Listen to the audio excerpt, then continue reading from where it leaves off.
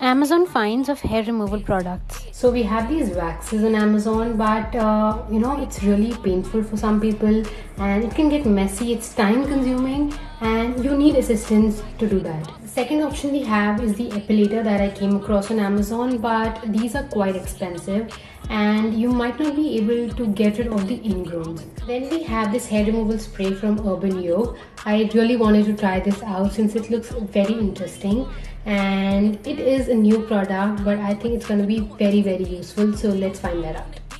So this is the hair removal cream spray from Urban Yog and it actually came to my rescue the last minute. I can easily do it at home. I just need to spray it on the area I want to clean my hair and just wipe it off with a cloth or a tissue paper. And as you can see all my hair came off so easily and it is completely painless. So this product really works. I just showed you and my skin feels really soft.